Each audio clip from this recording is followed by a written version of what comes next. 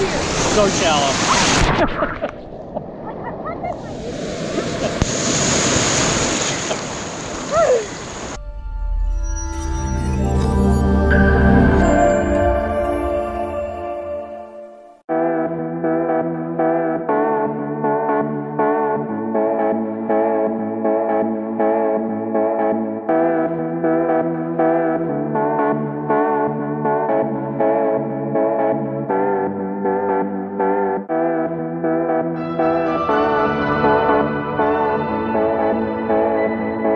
I think you're gonna have to lay on it.